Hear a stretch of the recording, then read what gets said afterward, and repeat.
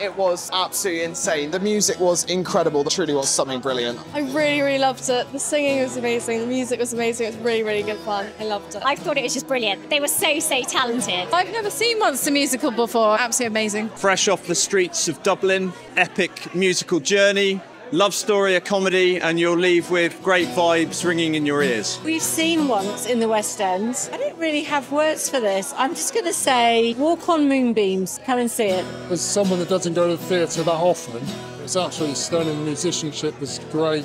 It's just stunning. I was shocked actually. I was very, very well entertained. Thoroughly enjoyed it.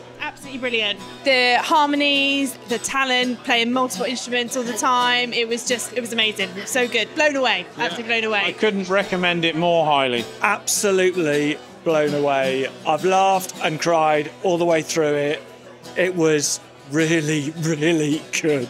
It was super exciting. This is such a bold and different take. This is once that still has all of the heart and all of this stirring, completely atmospheric and sweeping music, but presented in a completely new and cool and edgy way. It was really great. I thoroughly enjoyed it. I have no history with Once. I really enjoyed the music. I loved the take on it, and I thought it was just really fun and enjoyable. A lot of music and a really great night out. I had a wonderful time. I did see the original production back in the West End in whatever year it was, and I thought that the, the, the space and it being more contained really elevated the material. It became much more sort of gig theatre, incredible talent on stage. I'm always completely awed by actor musos, and it was just a joyous experience. It was very life affirming, so you should go and see it.